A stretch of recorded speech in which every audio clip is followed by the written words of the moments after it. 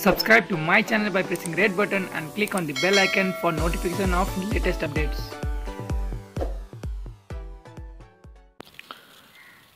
प्रधानमन्त्री तथा मन्त्री परिषद कार्यालयको सोमबार सार्वजनिक प्रतिवेदन अनुसार चालु आर्थिक वर्षको पहिलो चार महिनाको पुँजीगत खर्च जम्मा चौध प्रतिशत छ चौमासिक समीक्षा बैठकमा प्रधानमन्त्री केपी शर्मा ओलीले गत वर्ष यही अवधिमा कर्मचारी समायोजनका बावजुद अहिलेको तुलनामा बजेट खर्च बढी भएको बताए। विनियोजित बजेट परिचालनमा गत वर्ष कर्मचारी समायोजन बाधक नबनेको उनको निष्कर्ष थियो। गत साता प्रधानमन्त्री ओलीले गरेको मन्त्रीमण्डल पुनर्गठनमा सङ्घीय मामिला तथा सामान्य प्रशासन मन्त्री लालबाबु पण्डित नअटेपछिको बैठकमा उक्त मन्त्रालयको कामको प्रशंसा सुन्न नवनियुक्त मन्त्री हृदेश त्रिपाठी उपस्थित थिए। दुई हजार बहत्तर असार पच्चिस गते व्यवस्थापिका संसदबाट पारित निजामती सेवा ऐन चौथो संशोधन मार्फत थपिएको निजामती सेवाका कर्मचारीले विदेशीको डिबी पिआर लिन नपाउने व्यवस्थाका कारण मन्त्री पण्डित चर्चाको शिखरमा पुगेका थिए। डिबी पिआर धारी कर्मचारीलाई कानुनी दायरामा ल्याउने अडानका कारण उनको पहिलो कार्यकाल वा वाहीमै बित्यो। दोस्रो कार्यकालमा तिनै पण्डित मन्त्रीमण्डल पुनर्गठन हुँदा बाहिरिनीमा परे। उनी निकट एक नेता भन्छन्। एक सय पचास हाराहारीमा कर्मचारीलाई छुने डिबिपिआर लागू गर्दा सबैको हिरो थिए। अन्ठानब्बे हजार कर्मचारी समायोजन गर्दा जिरोमा गनिए। स्थानीय तह प्रदेश र सङ्घको निर्वाचन भइसकेपछि गठित सङ्घीय सरकारमा लालबाबु पण्डितले सङ्घीय मामिला तथा सामान्य प्रशासन मन्त्रालयको जिम्मेवारी पाए। सङ्घीयता कार्यान्वयनको चरणमा रहेकाले यो मन्त्रालय सबैभन्दा चलायमान पनि देखियो। मन्त्री पण्डितले कर्मचारी समायोजनमा आफ्नो र पराए भनेनन्। समायोजनको मापदण्डभन्दा दायाँ बायाँ पनि गरेनन्। आलोचना गर्नेहरू विरुद्ध मन्त्री आफै कडा रूपमा प्रस्तुत नभएको भए समायोजन त्यति छिटो नहुने मन्त्रालयका कर्मचारीहरू बताउँछन्। आन्दोलन विरोध प्रदर्शन र चर्को आलोचनाका बावजुद स्थानीय तहमा करिब दस हजार कर्मचारी भर्ना भए। कर्मचारी भर्ना नभएको भए स्थानीय तहहरूको काम कारवाही प्रभावित हुन सक्थ्यो। मन्त्रीकै कार्यकालमा प्रदेश लोकसेवा कानुन बन्यो। स्थानीय तहलाई आवश्यक बयालिसवटा कानुन तयार भए। स्थानीय तहका कर्मचारीहरूको सेवा शर्त सम्बन्धी कानुनको मस्यौदा कानुन न्याय तथा संसदीय मन्त्रालयमा पुगेको छ।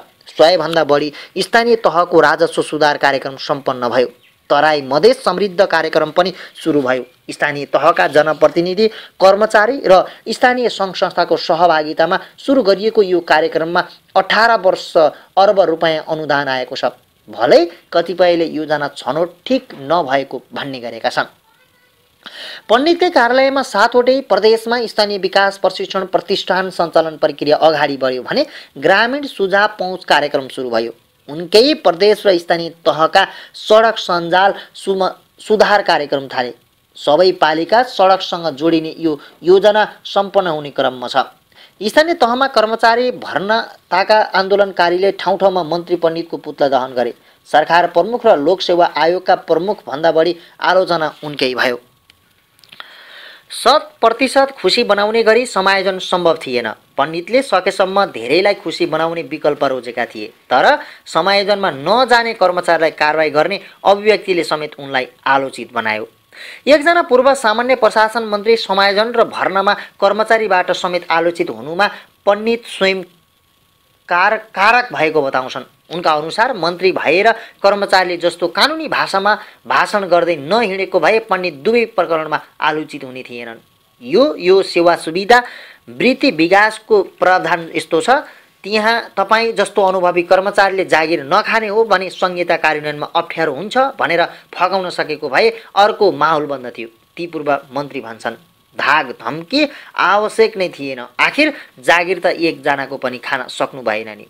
सरकारमा बसे पनि पण्डितको भाषा विपक्षी नेताको जस्तो रहेको नाम उल्लेख नगर्न उल्लेख गर्न नचाहने ती पूर्व मन्त्री बताउँछन्। संविधानको धारा घोक्दा घोक्दै पण्डितले कर्मचारी नेताहरूसँगको संवादलाई व्यवस्था गरेको उनी निकटस्थहरूको बुझाइ छ। जसले गर्दा समायोजन विवाद समाधानमुखी भन्दा प्रतिष्ठाको विषय बन्न पुग्यो। स्वास्थ्य मन्त्रालयका कर्मचारीको समायोजन टुङ्गिन नसक्नुको एउटा कारण यो पनि हो। एकजना पूर्व सचिवको मूल्याङ्कनमा मन्त्री भएपछि बेला बेला प्रधानमन्त्रीलाई भेटेर आशय बुझ्ने र आफूले गरेका कामहरूबारे बताउनेमा पनि चुके पण्डित उनी आफै पनि यो कमजोरी अस्वीकार गर्दैनन्। उनले भने मेरो कामबाट प्रधानमन्त्री असन्तुष्ट हुनुहुन्छ वा मलाई हटाइँदैछ भन्ने आवाज थिएन सानो घेरामा रम्ने पण्डित मन्त्री रहँदा सरकारवालाहरूबाट पनि टाढिए। उनीहरूसँग छलफल हुन सकेन उनको जनसम्पर्क निकै कमजोर रह्यो। सचिवालय कमजोर भए पनि मन्त्री पण्डितको काममा असर परेको एक थरीहरूको भनाइ छ। डिबी पिआर प्रकरणमा नेकपा एमालेकै शीर्षस्थ नेतृत्वको आदेश नमानेको पण्डितले आफ्नो पुस्तकमा उल्लेख गरेका छन्। राम्रा काममा लिएको अडानसँगै जाँदा जीवनशैलीका नेताका रूपमा पनि उनको वाहवाही भएको थियो। तर दोस्रो पटक मन्त्री बन्दा उनले आफ्नो सादा जीवनको प्रतिष्ठा कायम राख्न सकेनन्। चार चारवटा सरकारी गाडी प्रयोग गरेर उनले आफ्नो साइकल मन्त्रीको छवि ध्वस्त बारे मन्त्री भएका बेला उनले श्रीमती विमला महतसहित निकटस्थहरूका लागि सरकारी गाडी प्रयोग गरेको विषय सार्वजनिक भयो। सिंहदरबारमा परिसरमा रहेका पुराना गाडीहरू प्रभावशाली नेताहरूले अघिल्लो आर्थिक वर्षमा आफ्नो निर्वाचन क्षेत्रमा लगेर वितरण गरे। त्यसमा सबभन्दा अगाडि देखिए मन्त्री पण्डित। उनले आफ्नो निर्वाचन क्षेत्र मोरङ छमा मात्रै पन्ध्रवटा गाडी भाँडे सिंहदरबारलाई पृष्ठभूमिमा पारेर झन्डावाला साइकल चढेको उनको तस्विरमा गाडी मोहले हिलो छापेको थियो। नेपाल कम्युनिस्ट पार्टी नेकपाका एक पोलिट ब्युरो सदस्य भन्छन् अघिल्लो कार्यकालको साग जोगाउन सकेको भए प्रधानमन्त्रीले पनि उहाँलाई हटाउनु अघि दसपल्ट सोच्नुहुन्थ्यो होला। ओली निकट ती पोलिट ब्युरो सदस्यका अनुसार पुरा अवधि सरकार चलाउने तयारीमा लागेका प्रधानमन्त्री ओलीलाई यसपटक पण्डितलाई हटाएर आन्तरिक समीकरण मिलाउने बाध्यता पनि थिएन। हुन पनि नेकपा सदस्य नै नरहेका त्रिपाठीले पण्डितको मन्त्रालय पाएका छन्। निवर्तमान मन्त्री लालबाबु पण्डित आफूले राम्रो गर्दा गर्दै बहिर्गमनमा परेको बताउँछन्। प्रधानमन्त्रीलाई आफू आफूले कुरा बुझाउन नसकेको उनको भनाइ छ। मन्त्रीबाट हटाइँदैछ भन्ने पूर्व जानकारी थिएन पार्टीमा यो विषयमा चर्चा पनि थिएन। मेरो लागि यो अप्रत्याशित थियो। मन्त्रीमण्डलबाट हटेपछि मेरो पहिलो प्राथमिकता कोठा व्यवस्थापन हो। निजी सवारी साधन नभएकाले धेरै टाढा बस्न गाह्रो हुन्छ। कहिले काहीँ राति अबेरसम्म पनि बैठक हुन्छ। राम्रो काम गर्दा महादेवलाई पनि भस्मासुरले छाडेन त्यो भस्मासुरले मलाई छाड्ने कुरै भएन। राम्रो गर्नेलाई नराम्रो गर्न खोज्नेले छाड्दैन नै त्यस्तो तत्त्वले सकेको तागत लगाएर हटाउने काम गरे। मानिसहरू राम्रो गर्दा गर्दै तपाईँ कसरी हट्नुभयो भन्छन्। सञ्चारकर्मीहरूले पनि यस्तै भनेको सुन्छु। अरूले बुझेर के गर्नु? प्रधानमन्त्रीले बुझ्न भएन। मेरो मजबुरी प्रधानमन्त्रीले बुझ्नुपर्ने हो। बिचमा उपस्थित भएको छु छोटो समयको निम्ति आजभन्दा झन्डै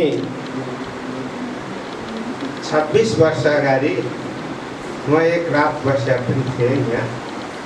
र त्यतिखेर पहिलोचोटि मान्य भएर म त्यतिखेर यहाँको प्रशासनिक र सार्वजनिक महत्त्वको विषयहरूसँग जोडिएर त्यतिखेर गण्डकी र धौलागिरीको सम्पूर्ण ठाउँहरूमा निरीक्षण अवलोकन र सल्लाह सुझाव सङ्कलन गर्ने सन्दर्भमा उपस्थित थिएँ र आज उपस्थित हुनुभयो हुनु परेकोमा म आफू तपाईँहरूसँग भेटघाट हुँदा व्यक्तिगत रूपमा विभिन्न ठाउँमा भेटघाट हुने क्रम त छँदैछ तर आज यहीँ उपस्थित भएर भेटघाट हुने र केही कुरा बोल्ने अवसर मिलेकोमा म आफूलाई गौरवान्वित ठानेको छु। अहिले मुलुक परिवर्तनमा अगाडि बढ्दै जाने सन्दर्भमा हामी अगाडि बढ्दैछौँ। र हाम्रो गन्तव्यमा हामी अगाडि बढ्दैछौँ। तर राम्रो गर्नको लागि अगाडि बढ्ने। क्रम पछाडिएका शक्तिहरू पनि खुट्टा तान्न पछाडि पर्दैन र तिनीहरूलाई चाहिँ हामीले रूपान्तरण गर्दै र परास्त पनि गर्दै हिँड्नु पर्यो। रूपान्तरण कसलाई गर्ने?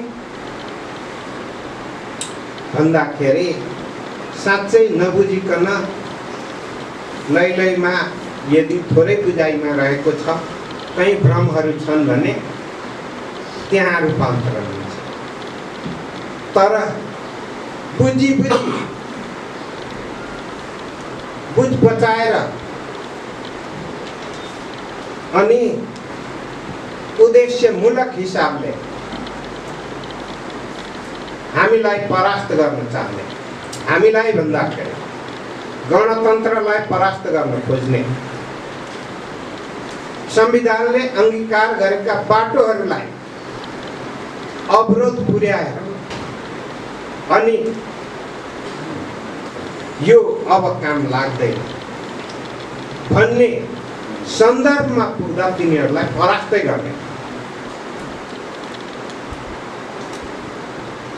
कहिलेकाहीँ चाहिँ हामी बिचमा पनि भ्रम पैदा हुन्छ। के भ्रम पैदा हुन्छ भने गणतन्त्र आयो के पायो? कुनै पनि प्राणी मानिस मात्रै होइन।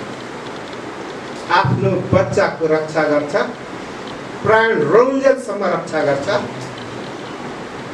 र उसलाई हुर्काउँछ बढाउँछ। भविष्य मेरो भविष्यको निम्ति भने गणतन्त्र हामीले आएको गणतन्त्र विरोधीहरूलाई गणतन्त्रको माया छैन। त्यसकारण गणतन्त्र समाप्त गर्न खोज्नेलाई हामी परास्त गर्छौँ। यदि हामीले ल्याएका हौँ यदि कहीँ भ्रम छ भने भ्रम भएका साथीहरूलाई हामी रूपान्तरण गर्छौँ। अब नेपालमा गणतन्त्र असफल हुन्न एउटा कुरा दोस्रो कुरा। हामीले संविधानले लोकतान्त्रिक गणतन्त्रको स्थापना गरेको। सङ्घीय प्रणालीको स्थापना गरेको। नेपालमा सङ्घीय प्रणाली जस्ताको तस्तै कहीँसँग मेल खाँदैन। हाम्रो विशिष्टता अनुरूपको हो। र अहिले संसारका अन्य सङ्घीय मुलुकहरू जसले केन्द्रीय प्रणालीबाट सङ्घीय प्रणालीमा रूपान्तरण भए संसारको कुनै पनि मुलुक भन्दा तीव्र गतिमा नेपालको सङ्घीयता